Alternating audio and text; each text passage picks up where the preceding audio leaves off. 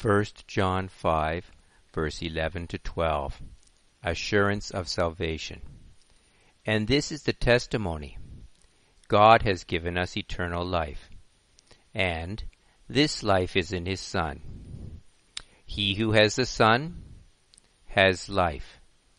He who does not have the Son of God does not have life. 1 John 5, 11 to 12. John 3:16 Redemptive work of Christ.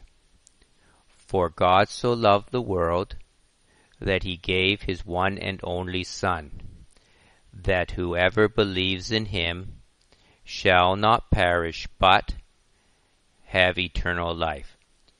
John 3:16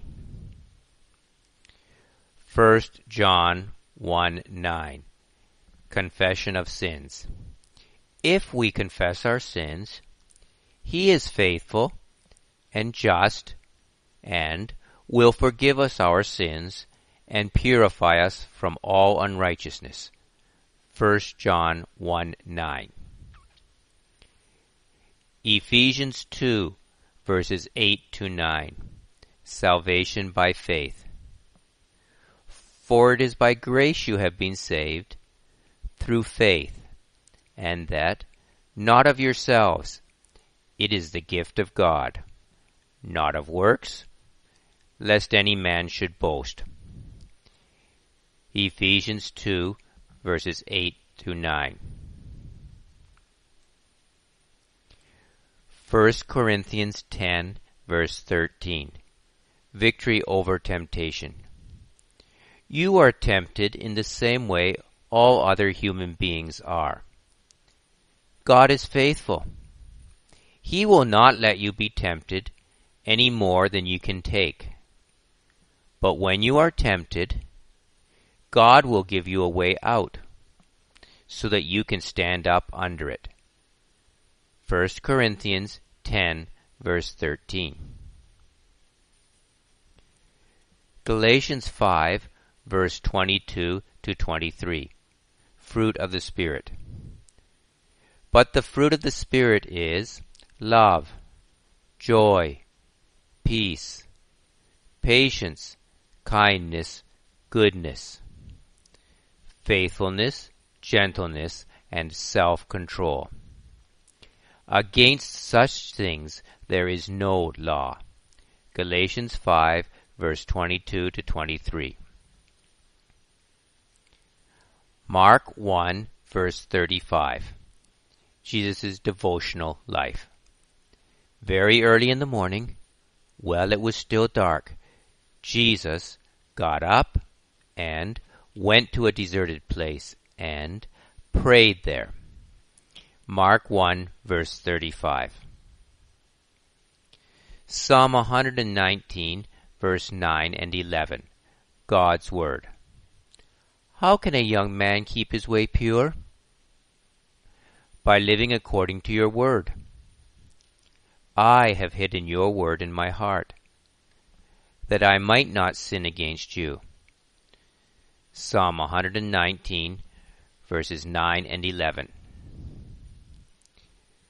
Philippians 4, verses 6 to 7. Prayer. Don't worry about anything. No matter what happens, tell God about everything ask and pray and give thanks to Him. Then God's peace will watch over your hearts and your minds. He will do this because you belong to Christ Jesus. God's peace can never be completely understood. Philippians 4 verses 6 to 7. Ephesians 4 verses 11 to 12, the church. It was he who gave some to be apostles, some to be prophets, some to be evangelists, and some to be pastors and teachers, to prepare God's people for works of service, so that the body of Christ may be built up. Ephesians 4 verses 11 to 12. Hebrews 10 verse 25. Christian fellowship. Let us not give up meeting together. Some are in the habit of doing this. Instead, let us cheer each other up with words of hope. Let us do it all the more as you see the day coming when Christ will return. Hebrews 10 verse 25. Matthew 28 verses 18 to 20. The Great Commission. Then Jesus came to them. He said, All authority in heaven and on earth has been given to me. So you must go and make disciples of all nations. Baptize them in the name of the Father and of the Son and of the Holy Spirit. Teach them to obey everything I have commanded you. And you can be sure that I am always with you to the very end. Matthew 28 verse 18 to 20.